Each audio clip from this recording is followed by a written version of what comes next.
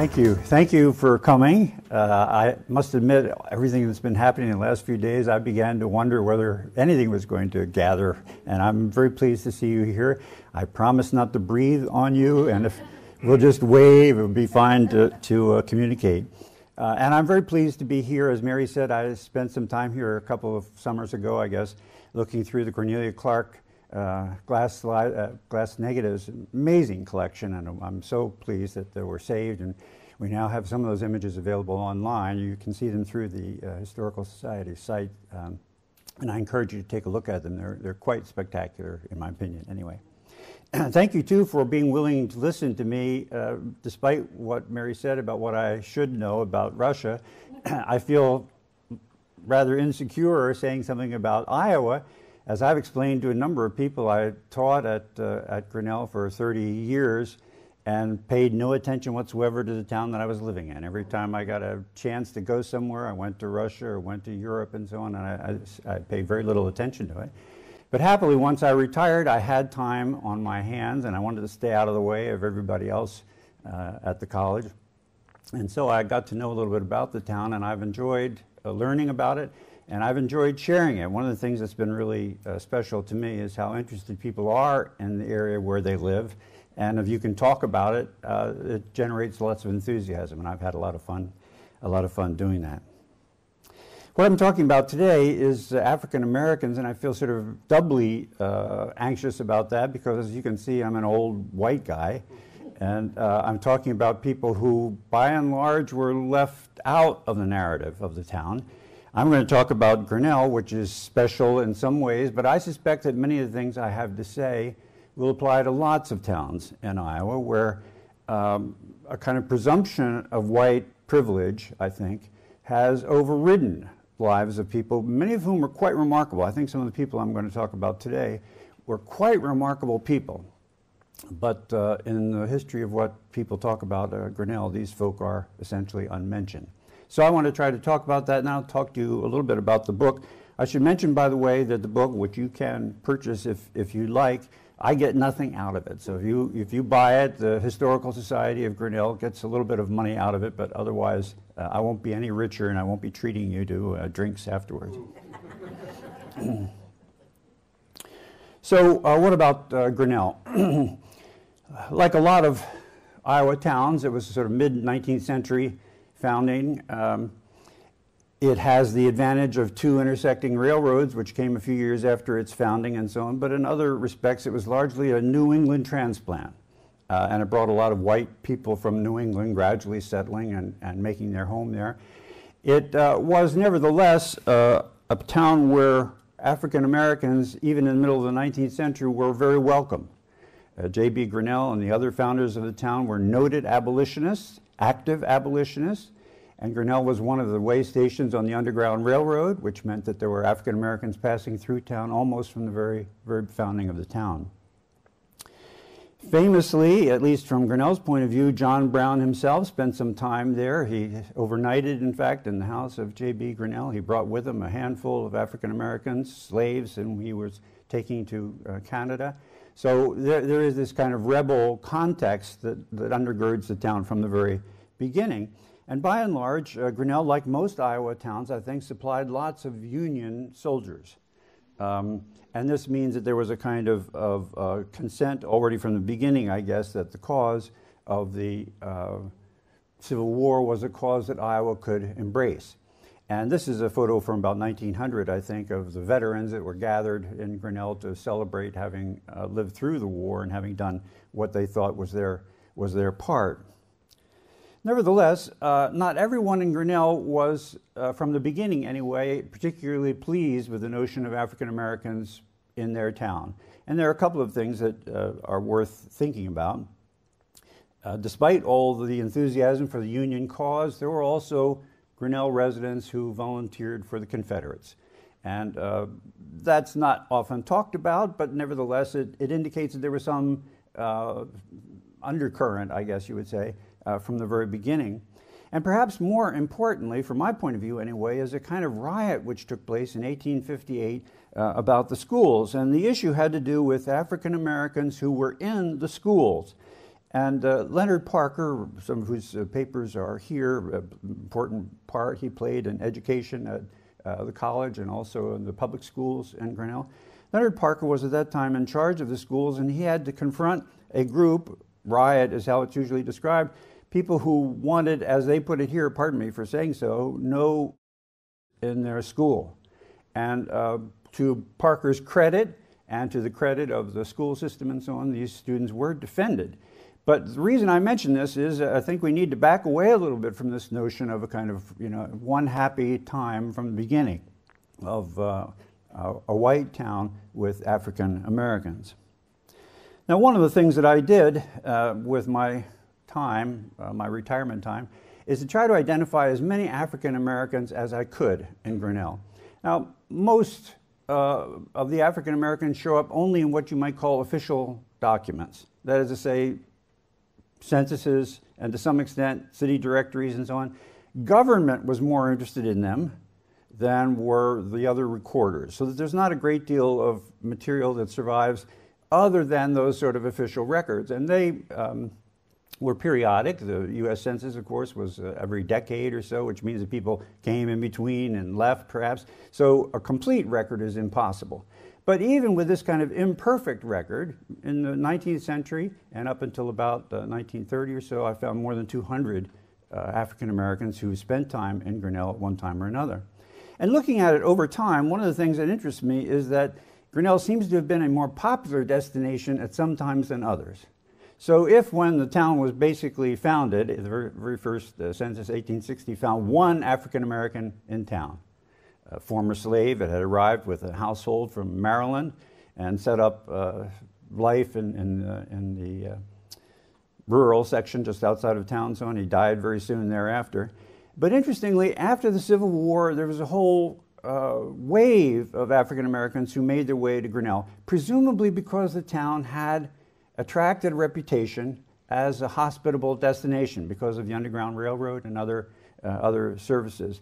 So that in 1870, for example, from the point of view of the percentage of the population, Grinnell had more African Americans than it ever had after or since.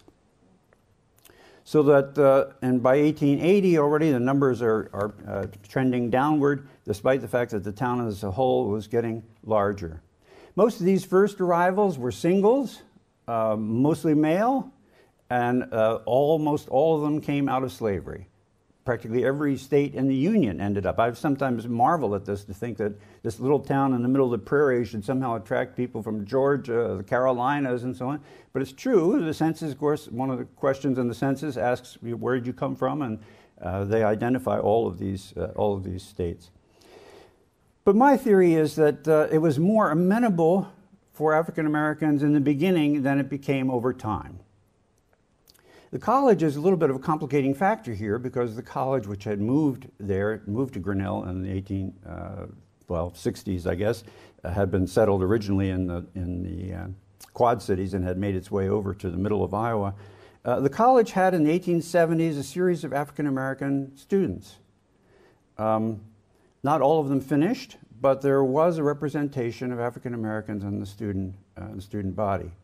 But from about 1880 or so until 1920, a couple of years on either side, you can shorten it, there were no African Americans at the college. No students, no faculty, nobody even uh, washing the floors and so on.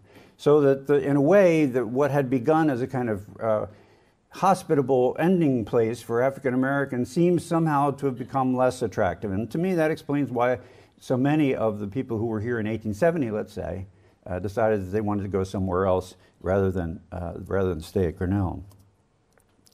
Grinnell did not benefit from the Great Migration. It was not a place to which great many African Americans came because they could find factory employment, although there were factories in Grinnell. Uh, some of the most famous are the ones which show up on this uh, slide here the Spalding buggy, later an automobile uh, factory. The Grinnell Washing Machine uh, Company, by about 1920, had 150 or so employees. Um, Morrison Ricker Glove Factory had not, was not that large, but nevertheless was a, a fairly prominent manufacturing facility and so on. No African Americans worked at any of these facilities. In the 1920s, uh, uh, something called Photocraft, I think it was, had visited Grinnell and done a series of these panoramic photographs. So you have the entire uh, working staff, let's say, of the washing machine company, all of them spread out and gross. It's a wonderful photograph. I'm, I'm thrilled that we have it. But it's also very depressing in a way because you look at this photograph and look as hard as you can, and you won't find an African American face.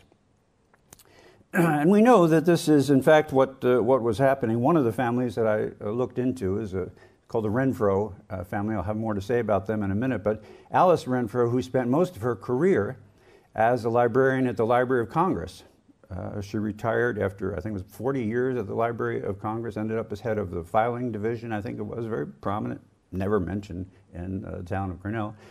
She was interviewed after her retirement in 1982. A Grinnell College student contacted Alice. He contacted a lot of other people as well. But Alice uh, said, and this is something I wanted you to attend to, uh, they didn't have any Negroes down at the glove factory nor at the canning factory. They used to hire just anybody white who could look like they could read ABC, and that's all. They would hire those people, but not us. Well, in a way, it's not surprising, of course, um, but it was never mentioned. If you look at any of the histories of the area, or the town and so on. None of this is mentioned. Not even as a, you know, this might involve a little further investigation and so on. It's just ridden over as though there was nothing but white folk doing, doing good things. This is that panoramic photo that I mentioned of the washing machine uh, factory workforce in 1920. And it's a kind of illustration to me of how people understand Grinnell's history.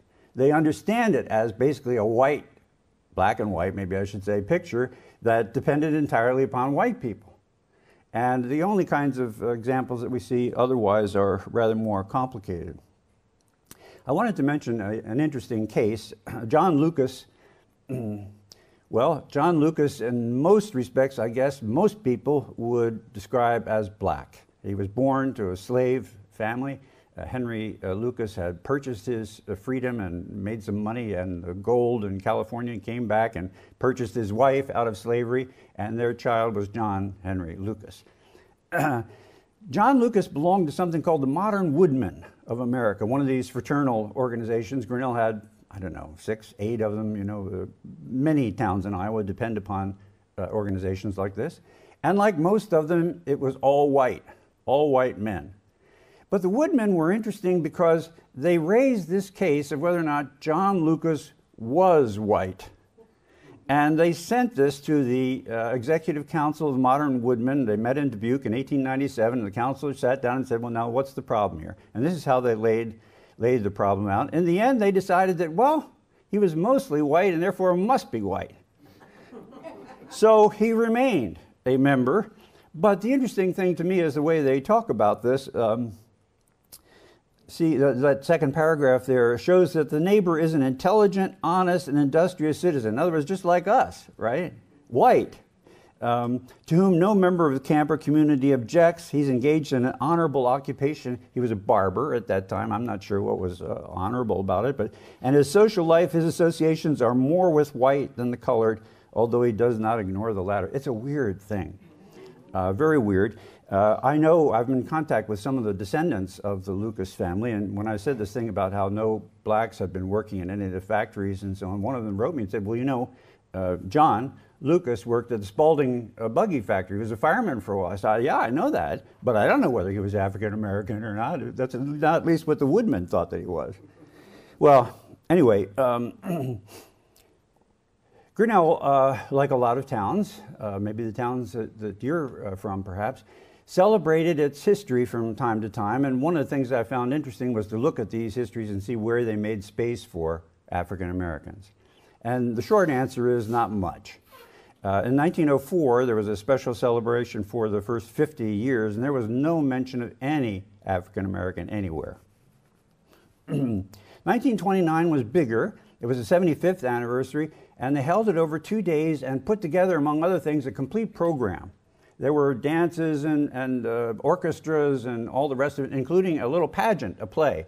So if you counted everybody who was involved, there were 100 and some people, I think, that took one part or another in the, in the celebrations. So on. There was only one African American who took part, and that was a woman, it was actually Mrs. Renfro, who played the part of a fugitive slave woman. And the text, this is what she was supposed to respond to. This is the narrative. Uh, she's welcomed into this home, and the mother says, If you'll feel safer, we'll hide you in another room and I'll bring food. And the colored woman, as it's written here, says, Can't we start now? The father, just a white father, of course. You must believe me when I say it's safer to wait. Darkness is our friend. We've done this often, never failed. Here's the part that you're supposed to attend to, right? You're so good to me, right? Uh, it's a dependent relationship. African Americans dependent upon whites who are in power and doing good things for African Americans. I've often wondered, uh, there's a lot written about uh, this woman, Mrs. Uh, Renfro. I'll say a little bit more about her. I've often wondered what she thought about going through this. I asked her daughter at one point. Her daughter is still alive, by the way. Her daughter is 105 in uh, June, I think it is. She'll be 106. The college gave her an honorary degree last year, and she's the sprightliest, uh, most amazing woman I've ever seen. She's part of a special ager, age, super agers program that Northwestern University is studying. Anyway, I asked her daughter, what did your mother think about these things when she came home? Did she talk about, you know, well, they want me to be kind of grateful and, and it? I said, no, my mother just said, let other people be themselves and we do our thing. That's even more amazing to me. In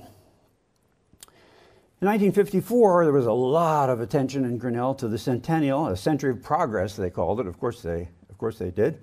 And it was a big, it was a big deal. And uh, the booklet that came out with it had lots of stuff in it, all kinds of good things. You see the fire department and all the rest of it and so on. What I draw your attention to here are these two items right here. So, of course, they're all on the same page, right? John Brown. And then there's Old Mumph. Well, Old Mumph was Mumford Holland. Uh, he too had been a slave. He had come to Grinnell uh, with the man with whom he'd served in the uh, Union Army and had followed a series of uh, kind of what, what I call them low pay jobs, including this one. He ended up as a kind of rag man. I don't know whether, what you call that anymore, recycling expert or something, uh, perhaps now. But what he did was uh, pick up rags, and he was a kind of colorful figure but nobody really knew anything about him. When he died in 1916, there were how old was he? Well, he might have been a 100. He might, did he did this? I mean, it was full of stories that no one really knew. No one really spoke to the man. They saw him as a kind of object of interest, a kind of icon, a curiosity, and so on. But this is, this is as much as the, the, uh, the celebration could admit to African Americans. The sesquicentennial in 2004 did not even have that. We didn't have a picture of Mumph or anything else. It was just going, uh, going the way of progress. Well, uh, what explains all, all this? Well, one thing that I think ought to be admitted fairly easily is that uh, there was a kind of uh, what I might call passive racism at work. Uh, one of those things you can be comfortable with. You know, it's the world, uh, that's kind of how I know about it, and it doesn't bother me, it doesn't trouble me. There aren't that many people, African American people, that I need to, need to worry about. Even uh, the Renfros, we know, have told us that, among other things, one of the most popular uh, stores in town was something called Candyland. It was a sweets and ice cream shop and so on. They would not allow African Americans in the door. I asked Edith, the 105 year old woman, I asked her a couple of years ago about this. I, was there a sign or what? She said, No, African Americans just knew you could not go in that door. And ditto with the movie theater. You could enter, but only if you sat in the balcony. Well, nobody talks about this. And when you point this out, say, well, isn't that something we should, well, it's, you know, kind of uncomfortable and no thank you. And the college wasn't in much better shape either. Uh, one of the magazines or journals that was produced at the time, something called the Malteaser, it's much uh, talked about because uh, Joe Rosenfield, who left behind a considerable wad of money for Grinnell College. Uh, Joe Rosenfield was for a time the business manager of the Malteaser. But in the 20s, the Malteaser engaged in a lot of humor that was uh, frankly offensive, including this kind of uh, photo here. They were trying to talk about you know, who was going to be beautiful and so on. And uh, this petite lass, the middle one I'm looking at, probably will be uh, the dark horse in the race. Get it? Really funny. Um, well, that's the kind of thing that showed up with, you know, we all understand kind of. That is to say, we're all white and we understand that's how you do these things. We don't want to admit the uncomfortable truth. One of the things that really surprised me when I was doing a study of Grinnell in the 20s was that Grinnell had a chapter of the Ku Klux Klan. Now, it turns out that several of the people I'm going to talk about today were graduating from high school in the 20s, just exactly when the Klan was driving, riding through downtown in white sheets and pointy hats and so on and holding big rallies. I mean, it's true. Uh, there were no lynchings or anything like that, but there was no secret about what the Klan represented. And to be African American in the town, therefore, and to see this, had to have been terribly uh, upsetting. We don't know. I, am on the board of the Historical Society in town, and I keep hoping somebody's going to find in their attic the records of the local Ku Klux Klan. We don't know who they were, but if you go by the records of the Ku Klux Klan elsewhere, the, the Indiana and Oregon, I think the, the membership list came to light. Uh, in both cases, they were the prominent people in town. It was not unlike joining the Woodmen of, of America and so on. It was what you did when you were a potent person in town. And so, uh, what, it, what it was like, therefore, to be African American must have been very, uh, very unsettling. Many of you will know that in the mid 20s, when the, the Klan was getting uh, very successful in Iowa, um, for several years uh, they held a kind of counter demonstration across from the state fair. Um, and among other things, they put up crosses like this one, a hundred foot cross, which they burned across from the fair entrance in order to make sure that everybody knew that the Ku Klux Klan was operating in Iowa. Uh, this is all stuff that, uh, you know, uh, nobody talks about when they talk about uh, how history passed in, in Grinnell in the, in the 19th century. Well, uh, whom do I want to talk about? I want to say just a few words about uh, some of the people that are in the book. Uh, Emma Morgan is an interesting case, and it's one that uh, I hope if you if you read the book, you'll uh, spend some time thinking about and share with me any insights that you have. Emma Morgan was a slave girl who was found in a an orphanage in New Orleans uh, in the mid 1860s uh, by two doctors from Grinnell who were serving in New Orleans. She was very fair, which is to say, the newspapers wrote several times about this. That uh, you know she would confuse people. They'd say, "Well, can you name for me, please, who's the African American in the Sunday school class?" It was the Congregational Church that sponsored her arrival in Grinnell. Can you name the African American? And people would look around and so on. They'd pick somebody else, right? And then they'd laugh, "Ha ha ha! See, you missed Emma, Emma Morgan." Um, we ran across her quite by accident. Her uh, Bible. She was given a Bible by these doctors who had saved her and her Bible showed up in the collection of the uh, Historical Society without any explanation for how it had gotten there. But a little note inside had been written by her friend, uh, the daughter of her friend actually, uh, that provided a little bit of history of how she had gotten there. Emma Morgan uh, arrived in Grinnell probably in 1866 or 1867. She was said to be very bright, uh, reported to be one of the best students in school, and this showed up several times in the newspaper and so on.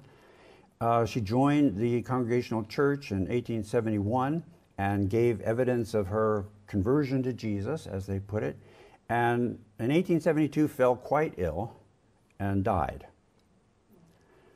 No obituary appeared in the Grinnell papers. There was just a little note that said Emma Morgan died yesterday.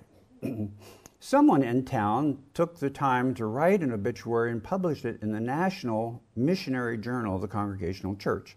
But she used only her initials, FSR. I still don't know who this is who wrote it. FSR wrote an obituary about her, told some of the story about how she'd been picked up, how she'd done well in school, and so on and so forth, and said only that she had died from a torturous illness, but not identified. Emma was not buried in the main part of the cemetery. She was buried in the uh, potter's field. There was no stone for her. Uh, it's, a, it's a weird ending to the story, and it makes me wonder why no one, no one in the church, they had sponsored her for several years, why the doctors who had rescued her, she'd been living in the household of one of the deacons of the Congregational Church, nobody stepped forward and said, Look, we're going to remember this. Even that slave, remember me telling you there was one African American in 1860 in Grinnell? That slave has a, has a gravestone, but Emma Morgan does not. And uh, I hypothesize that something terribly wrong happened there, and the town couldn't deal with it, whatever it was.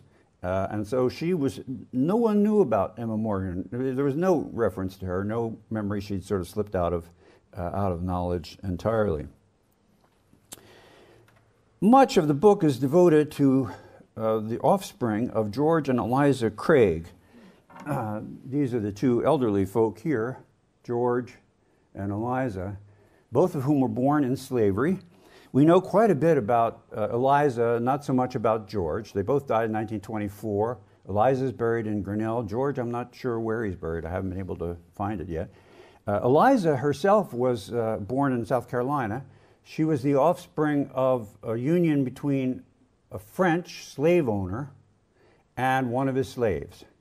And he tried to have her emancipated at his death. There was a long interval afterwards. Uh, uh, executors uh, were looking to recoup the money that was that slavery represented and so on. But finally, she made her way, thanks to the offices of the uh, Friends, made her way to Ohio and then ultimately to West Branch, just up the way here.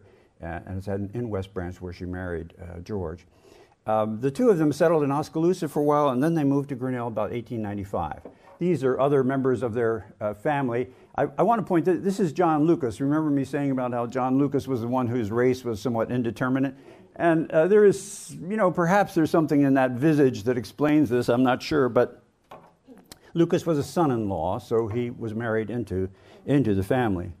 But what uh, matters for our purposes are the three daughters of the Craig family uh, who are represented uh, here. The youngest one on the far corner, this is the one who gives birth to the, she marries Lee Renfro, and it's her children that I'm mainly going to talk about uh, today. Uh, this is Theodora, or Dora, who married John Lucas, and that they left a number of children. Eventually, they settled in uh, California.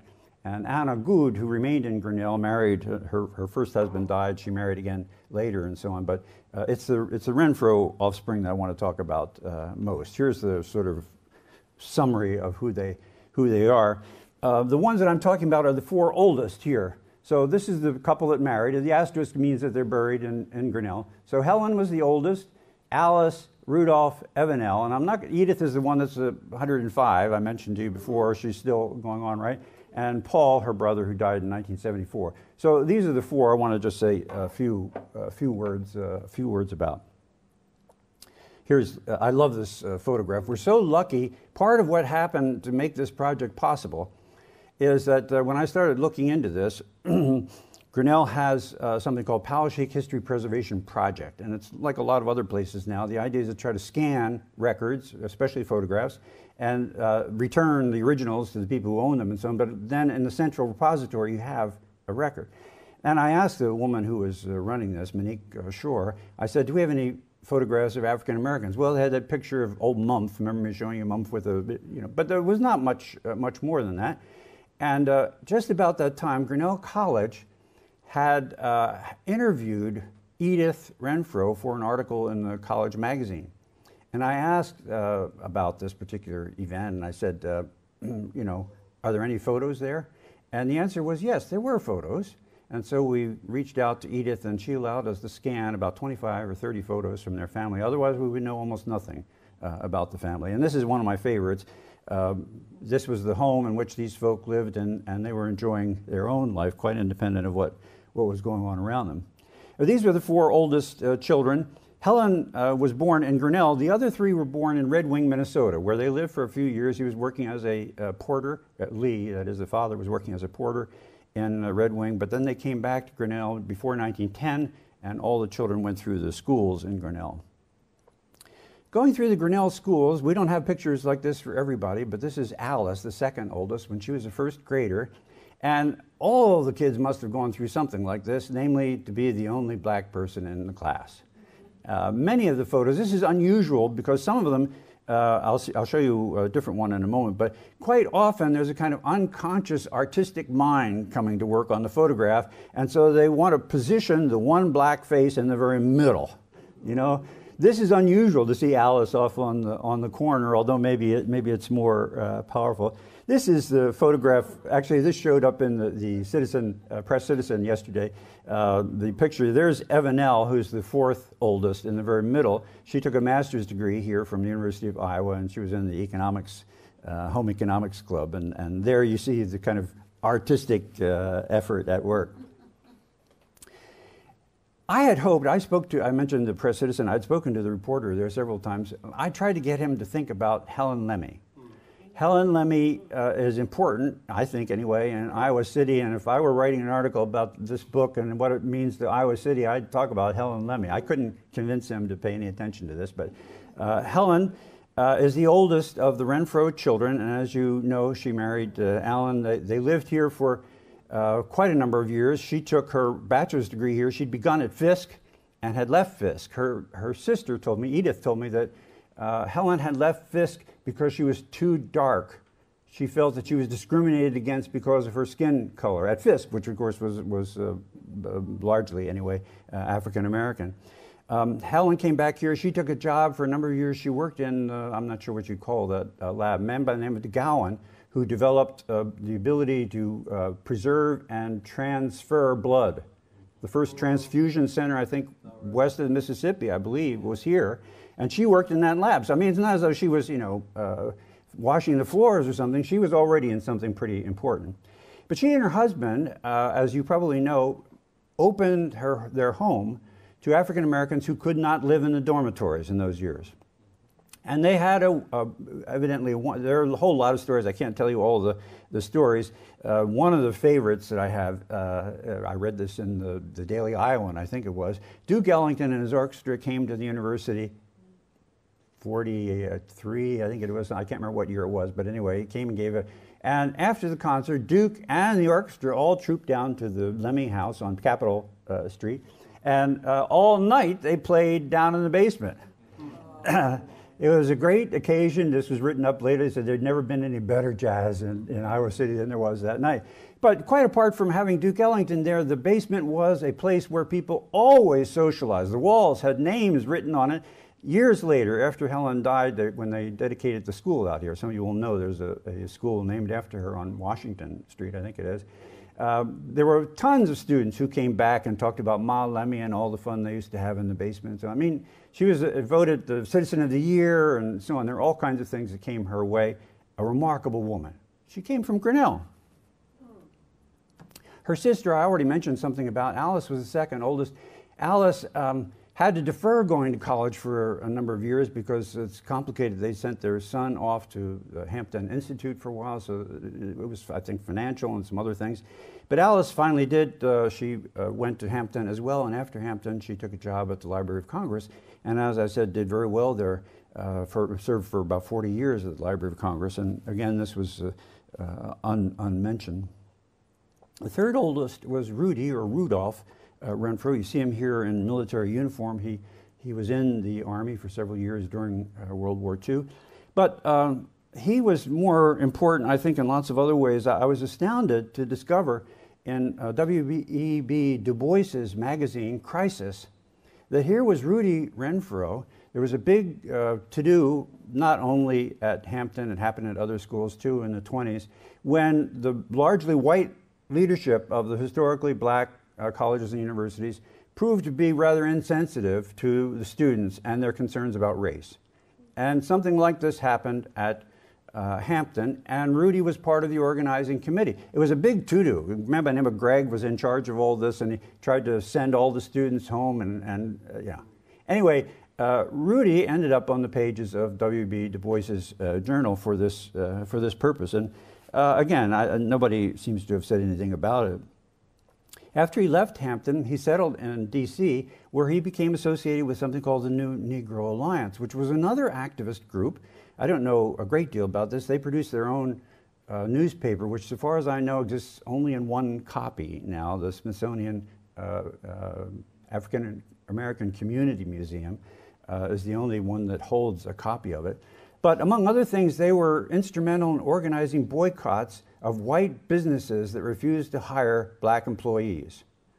Um, Safeway uh, grocery store was behind much of this, but it wasn't the only one that they uh, worked against. And so some of these photographs are out. This is a, a uh, Addison Scurlock photograph. Scurlock, one of the most accomplished, I think, African American photographers, has this photograph. And there's uh, Rudy right in the middle, in the back.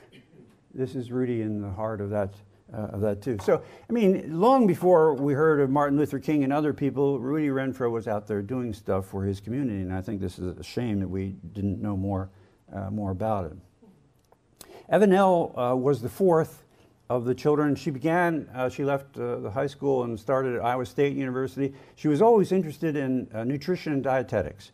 Her mother had a big garden. Uh, Edith was very funny. We had a sort of question and answer uh, publicly one time, and uh, her dad worked for many years as a cook in a hotel in, in Grinnell. And she said her dad loved to plant all these different things. He was always looking through the, the magazines, you know, what seeds you could order and so on. And she said, and whatever my dad planted, my mother uh, put up, right, and, hmm. and, canning and so on. So they had all this stuff in the basement that came out of it. And, and Evan was a, a rather prominent uh, nutrition. Uh, she finished actually at the University of Iowa, took her bachelor's degree here, and then, as I mentioned a moment ago, stayed on to to get a master's. She taught at several other historically black uh, institutions, Lincoln, Tuskegee, and so on. She ended up at Savannah State College, where she taught for about 25 years and was the chair of, of the department for all that time. So a very accomplished uh, person uh, of, her own, of her own right. now, another section of the book deals with a family much less accomplished, I guess, in most, uh, most respects, the Tibbs family. And what we know about the Tibbs comes in part from this artifact that uh, survived. There's a shoeshine chair that stood for many years in a, a barber shop on 4th Avenue and was then consigned to the basement. It was discovered kind of by accident in the 1990s. Nobody knew whose it was and so on. And it came out sooner or later that this was the chair that Jim Tibbs, who was the father of the family, that Jim Tibbs uh, used. I love that it has a heart in the back of it. I like to think about Jim Tibbs sitting down in front. There was like a little stool. You know, you, you stepped up into it. This is a kind of rickety looking chair to me, but anyway, uh, you stepped up into it and put your feet up high, and then the guy was down below you, right? So the guy down below, shining your shoes and so on, when you get up, he looks up and there's a heart behind that uh, behind that body. Uh, probably an accident, but I like to think about it anyway. So uh, Jim Tibbs was born in Missouri. He made his way to Iowa and, and uh, uh, he served in World War I for a while, and shortly after he returned from the war, he married another Grinnell woman, uh, Mamie or, or, Mary Redrick, and they had six, uh, six children. Um, I have not succeeded in finding as much about most of those children. I know almost nothing about Shirley, but some of the others we do know, uh, do know something about. Jim Tibbs was remembered, but again, it's a kind of uh, there, there's no photograph that I can find of Jim Tibbs. Um, there was no obituary of him published in the newspaper. There was, however, a kind of editorial. It was a curious sort of thing. The, the, the uh, editor knew of Tibbs and wanted to say something about him, but it's not exactly a, a um, an obituary. But one of the things that uh, is included in this uh, remarkable document is this reference to how people used to joke and make fun of Tibbs. And again, I thought about that heart behind the uh, chair and why these people were doing that. Now, according to the newspaper, the next line or two after this says, well, Jim probably really liked it, you know, and he really would have felt bad if it had stopped and so on. I don't think so, but you know, that's at least what was what was written down. But it, it to me uh, illustrated how being black in Grinnell was almost the same thing as not being there. Now, what I know about the Tibbs comes in part through a rather remarkable thing, and I'm going to try to finish with this here, I think. in the 1970s, it turns out, a group of Grinnell College students, now, okay, it's the 70s, right? Grinnell College students, okay. What, what they said was that they were just walking down the street. This is about a mile from campus, uh, South Elm Street they're walking down the street and they saw pieces of paper blowing in the wind. And they felt instantly a kind of uh, scholar's, archivist compassion and started collecting all these papers. So uh, then they dragged them all back up to the college. Well, the house in question, in fact, had been vacant. Uh, Mamie Tibbs, the, the, mother, Mamie Tibbs, uh, had left to move to Omaha, where several of her children were living in the house. It was a wreck. We know something about it. It was kind of a bad. I don't know what the students were there, but I'm sure they weren't there in order to serve as archivists. But they, they did nevertheless manage to collect more than 100 letters that were sent to various members of the Tibbs family, a collection of photographs, uh, not a lot, but there are some, including a color photograph of one of the, the young, uh, young women, uh, some personal papers, there was a banking document, and some things like that. All of this ended up in the archive. And in uh, 1974, one of the college professors wrote to one of the surviving sons, Albert uh, Tibbs, who ran a rather successful uh, construction enterprise in Omaha, wrote to Albert Tibbs and said, Look, we have these papers and so on, can we put them in the college archives? And Albert wrote back, Sure, you know. So the papers survived. I have tried very hard to find out who these students were. Uh, I went through the alumni database and I, I looked at African Americans in the early 70s. I looked at uh, history majors in the early 70s, American studies majors in the early 70s. This was a time when uh, race on campus was a very heated subject. There was at the at almost exactly this time, there was a student committee on the college campus that had petitioned for two sociology professors to be fired for what they called blatant racism. And they complained that the college also had been uh, neglectful in appointing African Americans to the faculty. So, I mean, the student paper, the college student paper was full of these things, and letters were being written, you know, come on, let's, uh, let's do better about all this and so on. Not a word about the discovery of these papers. The town newspaper, not a word about the discovery of these papers. So it's a, it, and I've, you know, I wrote to more than 60 uh, Grinnell alums from around that time. Uh, only about 30 of them wrote back almost always they say, What a great story. We never heard of it. So I still don't know. I'm dying to know why they were doing this and who did it and so on. Maybe someday we'll find out about it. But the thing that, that makes it relevant here, I think, is that it's an, to my way of thinking, way, an unusually rich collection of material about the internal life of an African American family. Most of these letters are letters that were written to the children Harold, the oldest one in particular, several women who tried to win his affection, and then two of the younger daughters got a lot of attention from letter writers.